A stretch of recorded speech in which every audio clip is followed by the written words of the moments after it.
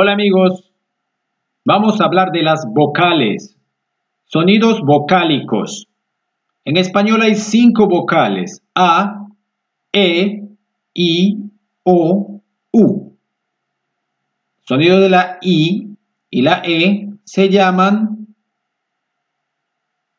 las vocales cerradas. Entonces vemos de que se pronuncian como en ruso. En español, de lo contrario al ruso, se pronuncian o la pronunciación de las vocales es muy importante. Puede ser de que nosotros, por ejemplo, podamos cambiar, pueda cambiar un poco, ¿no?